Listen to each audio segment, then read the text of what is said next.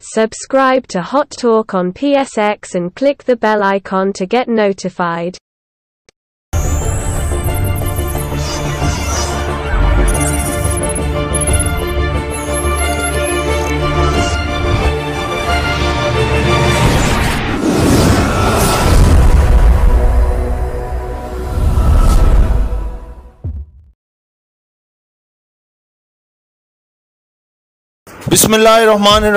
अस्सलाम प्यारे दोस्तों, भाइयों, क्या हाल चाल हैं? सब ठीक है? अल्लाह पाक से उम्मीद करता हूँ कि आप सब ठीक ठाक होंगे। अच्छा दोस्तों, आज आपकी खिदमत में K S C hundred index का एनालिसिस और नेक्स्ट जो मंडे की स्ट्रेटजी है, उसको लेके आपकी खिदमत में हाजिर हुए हैं। साथ दस स्टॉक्स जो आपके लिए आज इस वॉल्यूम की तीसरी वीडियो है, जो आपकी खिदमत में पेश की जाएगी। और उनके मुकम्मल टेक्निकल्स दस स्टॉक के मुकम्मल टेक्निकल्स आपको बताए जाएँगे कि ये क्यों इस वक्त ज़रूरी हैं, नागजीर हैं ख़रीदने के लिए। तो और दूसरा पॉलिटिकल थोड़े से हालात पे नज़र भी डाली जाएगी कि क्या सूरत सूरत हाल है करंट और स्नैरियो क्या है इस वक्त। तो दोस्तों, सबसे पहले मैं स्टार्ट करता हूँ इस बात से कि आज 28 मई है। इसको आप योम मई के नाम से भी ये दिन जो है वो जाना जाता है। हमारा एक दिफाई दिन है ये, जिस दिन जो है एटमी धमाका किया था और पाकिस्तान ने अपनी ताकत का मुजाहरा किया था पूरी दुनिया में। तो दोस्तों, बात ये है, देखिए, मैं पहले भी आपको ये बात कहता रहा हूँ कि आप अपने कंट्री को इतना कमज़ोर मुल्क ना समझें। ये एक एटमी मुल्क है। और दुनिया में एक जाना पहचाना मुल्क है और इस मुल्क को गिराने के लिए किसी को बड़ी ताकत का इस्तेमाल करना पड़ेगा, जो ताकत किसी मुल्क में नहीं है। तो बात यह है कि आईएमएफ की बात हो रही थी कि आईएमएफ कर्जा नहीं देगा नहीं देगा। तो मैंने एक बात ये कही थी, एक वीडियो में भी, एक मैसेज के थ्रू भी कही थी कि आईएमएफ का बाप भी कर्जा देगा। वो क्यों देगा? क्योंकि उसे पता है कि पाकिस्तान जैसे बड़े कंट्री को स्टेबल रखना हमारे लिए बहुत ज़रूरी है, क्योंकि ये एक बहुत बड़ा ताकतवर कंट्री तो दोस्तों, भाइयों, बात यह है कि पाकिस्तान इंशाल्लाह स्टेबल होगा, ज़रूर होगा। सिर्फ़ और सिर्फ़ हमें किस चीज़ की ज़रूरत है? एक अच्छी लीडरशिप की ज़रूरत। कोई भी मुल्क जब भी तरक्की करता है, जब वहाँ पे एक अच्छी लीडरशिप आ जाए और एक अच्छा निज़ाम जहाँ पे कानून का बोलबाला हो जहाँ पे कानून का बोलबाला नहीं ना होता तो वो मुल्क, वो रियासतें, वो जगह जो है, वो बर्बाद हो जाती हैं और वहाँ पे कुछ नहीं रहता, बेबरकती पड़ जाती है। तो बात यह हमारे मुल्क में आप खुद देख लें, हर बंदा अपने अपने गिरबान में झांके तो हम लोगों में बहुत सारी कमियाँ हैं। हम लोग झूठ बोलते हैं, हम लोग कम तोलते हैं, हम लोग वादा खिलाफ़ी करते हैं, हम लोग किसी की अमानत की पासदारी नहीं करते। और ऐसा करते हैं, अब जैसे देखें, पेट्रोल तीस रुपये महँगा हो गया। तो हर जगह पे आप कोई भी चीज़ खरीदने खड़े होंगे तो हर कोई चार छः गालियाँ निकालेगा पिछली हुकूमत को, फिर चार छः गालियाँ निकालेगा मौजूदा हुकूमत को, फिर चार छः गालियाँ निकालेगा निज़ाम को, और अपनी चीज़ महँगी जो पाँच परसेंट होनी चाहिए, उसे पचास परसेंट महँगी करके वो गाहक को थमा देगा और कह देगा, जी, मेरा कोई कसूर नहीं है, इसमें बाकी सबका कसूर। यानी कि ये देखें कि हर बंदा इरिस्पॉन्सिबल है और वो चाहता ये है कि मैं जो है बस, जो बस अनाथ शनात यानी कि गलत मलत बोला जाता है, कोई भी किसी के भी खिलाफ वो बोल के अपना उल्लू सीधा कर तो दोस्तों, बात है, हमारा जो है निज़ाम टोटल का टोटल ख़राब हुआ हुआ है।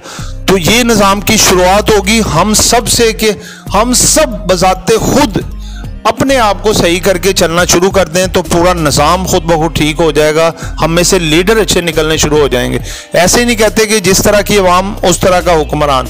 तो हम लोग जब गलत होंगे तो हमारे हुक्मरान कैसे ठीक आएँगे, बताएँ तो दोस्तों, मैं यहाँ पे, यानी कि बात को ख़त्म करता हूँ। ज़्यादा तकरीर नहीं झाड़ता। आप कहेंगे कि ये ऐसे ऐसे तकरीर झाड़ना शुरू हो गए तो आज मेरे दिल से बात नहीं कर रही थी, जो आपके सामने मैंने रख दी और कह दी कि ये असल में बात।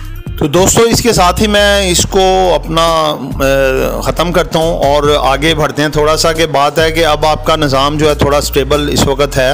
यानी कि जितना इंटरेस्ट रेट बढ़ना था, वो बढ़ गया। तेरह शरीय पचहत्तर पे इस वक्त ये मज़ीद बढ़ता हुआ नज़र नहीं आ रहा। उसके बाद जो टी ऑक्शन बिल्स हैं वो भी तकरीबन इस वक्त स्टेबल पोजीशन पे नज़र आ रहे हैं। मज़ीद नहीं बढ़ेंगे बल्कि रेट्स ये कम आएँगे। ठीक है? उसके बाद आप देख लें कि आईएमएफ से हमें जो है वो पैसा मिलने जा रहा है। पाँच अरब की इन्होंने मफ्ता जो इसमाइल हैं हमारे फाइनेंस मिनिस्टर बकौल उनके कि हमने पाँच अरब डॉलर की डिमांड उनके सा, सामने रखी है तो चार अरब डॉलर की उन्होंने हमसे प्रॉमिस किया देने का। जिसकी पहली किस्त जो है वो जल्द जल्द जो है वो नब्बे करोड़ डॉलर हमें रिसीव हो जाएगी। तो दोस्तों, बात यह है कि इनके बाद आपको एडीबी से भी एशियन डेवलपमेंट बैंक से भी लोन मिलना शुरू हो जाएगा और उसके बाद सऊदीया यूएई और चाइना से भी। मज़ीद भी रास्ते खुल सकते हैं। इंशाल्लाह स्टेबिलिटी की तरफ़ गामसन है। बस ये है कि हमारी जो पोलिटिकल अनसर्टेनिटी है, वो ज़रा थोड़ी सी कम हो जाए। तो अब उसमें भी काफ़ी हद तक कमी आ गई है। तो अब उम्मीद तो लग रही है कि निज़ाम थोड़ा बेहतर तरीके से चलेगा। सिर्फ़ इन्फ्लेशन का बढ़ने का थोड़ा सा है कि अगर इसको गवर्नमेंट कंट्रोल कर पाए। तो दोस्तों, मैं स्ट्रेट फॉरवर्ड उस तरह टॉपिक की तरफ़ आता हूँ, जो हमारे दस स्टॉक्स हैं, जो आपको आज बताने जा रहा हूँ मैं। ज़बरदस्त स्टॉक है, इनकी आप डिटेल इनके टेक्निकल सारा कुछ आपके सामने रखेंगे कि इनका बढ़ना क्यों ज़रूरी है। तो दोस्तों, इनमें ये सबसे पहले मैं आपको टोटल बता देता हूँ, जो इनमें है P S O P S O देख लें, पाकिस्तान स्टेट ऑयल, ये इसके टेक्निकल आपके सामने है, ज़बरदस्त किस्म का स्टॉक है और काफ़ी ज़्यादा ओवरसोल्ड होके नीचे पोजीशन पे आया हुआ और इसने, आप इसकी जो बोर्ड मीटिंग उठा के देख लें कि इसने बहुत हद तक अपना लॉस को रिकवर किया और इतना बड़ा लॉस रिकवर किया है, इस वक्त इसके प्राइस डबल होने चाहिए, लेकिन यहाँ पे घूम रहा है तो आने वाले वक्त में देखिएगा इन ताला बड़ा बेहतर हो जाएगा। तो इसके टेक्निकल भी देख लें पी रेशो डिविडेंड वगैरह, हर चीज़ आपके सामने है। तो इन इसको देखें और आप इसको बाय करें।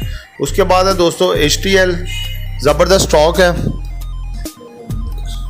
ये देख लें कि पेट्रोलियम के बढ़ने के साथ साथ इसमें भी काफ़ी हद तक जो है वो तेज़ी आई है और आने वाले वक्त में काफ़ी बेहतर होने की इसकी भी तो है। इसके भी तमाम जितने भी टेक्निकल आपके सामने हैं वो देख के और आप भी डिसाइड कर सकते हैं कि इसको क्या करना चाहिए। उसके बाद है दोस्तों पीपीएल पाकिस्तान पेट्रोलियम लिमिटेड और ओजीडीसी पहले पाकिस्तान पेट्रोलियम लिमिटेड का बताता हूँ तो ये देख लें कि इसने जो डिविडेंड और जो बोनसेस वगैरह ज़बरदस्त किस्म के दिए हैं, और इसके टेक्निकल देख लें थ्री मंथ्स का और जो वन ईयर का लो है, तकरीबन आलमोस्ट उसी पोजीशन पे है, और इस वक्त रैली भी इसमें आई हुई है, और आगे बढ़ने के इसके काफ़ी हद तक चांसेस हैं, ठीक है? उसके बाद ओजीडीसी डी के बारे में बता दूँ आपको कि ऑयल गैस डेवलपमेंट कंपनी एक स्ट्रॉन्ग किस्म की कंपनी है। और इसमें भी जो इसके बोनस और डिविडेंड है, ये हर क्वार्टर के बाद देती है और एक स्टेबल इस वक्त कंपनी है। और ये पीपीएल और ओजीडीसी का एक और आपको बता दूँ कि ये जो है अपना जो हमारी रेकॉर्डिक कान है, इनमें इनका ज़बरदस्त किस्म का शेयर है और उधर से भी इनको प्रॉफिट वगैरह जो है वो गेन होता है और इसके आने वाले वक्त में मज़ीद इनका जो है अपग्रेडेशन के चांसेस हैं। उसके बाद है दोस्तों सर्विस सर्विस शूज़ कंपनी जो है सर्विस लिमिटेड के नाम से भी जानी जाती है ब्रांड है और शू की दुनिया में लगा लें, पूरी दुनिया में इसका एक नाम है और इस वक्त ज़बरदस्त जा रही है। और इसके टेक्निकल्स वगैरह भी देख लें। इस कंपनी में भी लॉस के बहुत कम चांसेस हैं। आप इसको बाय करें इन ताला ज़बरदस्त किस्म का प्रॉफिट होगा। तो इसी की दोस्तों, जो कॉम्पिटिटर कंपनी है बाटा ये दोनों बाटा सर्विस लगा लें। ब्रांड है अपने शोबे में। और बाटा कंपनी जो है, इनकी जो प्रोडक्ट है, उसका एक मैार है। तो मल्टीनेशनल कंपनी है, इसका पूरी दुनिया में ब्रांचेज हैं और एक मैार के लिहाज से ये जानी जाती है, ठीक है? तो ये भी एक अच्छा डिविडेंड देती है बोनस भी अच्छा देती है और वो तमाम इंसेंटिव जो अपनी, अपने शेयर होल्डर्स को देने चाहिए, ये कंपनी देती है। तो इसको भी आप परचेज़ कर सकते हैं। उसके बाद दोस्तों है कि पाकिस्तान एलुमिनियम बेवरेजेस कैन आप ये देखें कि कहाँ से इसका रेट चला है और कहाँ पे पैनिक की वजह से आया हुआ है। टेक्निकल इसके तमाम बेहतर हैं। इसके शेयर्स को आप बाई कर सकते हैं। बड़े शॉर्ट टर्म में आपको बड़ा अच्छा फ़ायदा हो सकता उसके बाद है दोस्तों आईजीआई होल्डिंग्स पहले ये था आई इंश्योरेंस तो एक आईजीआई इन्वेस्टमेंट बैंक था, वो इसमें जम हो गया तो ये इसको टोटल कर दिया गया आईजीआई होल्डिंग्स तो एक बड़ी स्टेबल और ये समझ लें कि स्ट्रॉन्ग किस्म की ये कंपनी है और इसका नाम है इंश्योरेंस सेक्टर में। तो इसको, इसके टेक्निकल्स हर चीज़ आउट क्लास है, इसको भी आप बाय कर सकते हैं। उसके बाद है दोस्तों यूनिटी फ़ूड फ़ूड सेक्टर में ये भी एक चमकता सितारा है, बहुत बड़े रेट से नीचे आया हुआ है। आने वाले वक्त में बड़े अच्छे रेट पे इसने जाना है। इन ताला इसके टेक्निकल देखें, सब कुछ बेस्ट है। आप इसको ले सकते हैं। उसके बाद है ट्रेड कॉरपोरेशन शॉर्ट टर्म में इसने बड़ी तरक्की की है और मज़ीद पैनिक की वजह से ये नीचे आया। तो इसके भी टेक्निकल ज़बरदस्त हैं। आने वाले वक्त में शॉर्ट टर्म में आपको बड़ा अच्छा रिस्पॉन्स दे सकती है और इसको आप लॉन्ग टर्म बेसिस पे भी रख सकते हैं। तो दोस्तों, ये दस स्टॉक थे। ये हमारे एनालिसिस के मुताबिक इस वक्त बेहतरीन पोजीशन पे खड़े हैं। अगर हम ऐसा, या हमारी टीम ऐसा चाहे तो ये इसको बाय हम कर सकते हैं। आगे आपकी मर्ज़ी, आपका डिसीज़न है, आप क्या डिसीज़न लेते हैं और किस तरह बाय करते हैं। तो दोस्तों, ये वीडियो थी हमारी। पसंद आई हो तो लाइक कीजिएगा सब्सक्राइब कीजिएगा और दुआओं में याद रखिएगा। आपका दोस्त, आपका खादिम, आपका मुखलिस, आमिर शहजाद, अल्लाह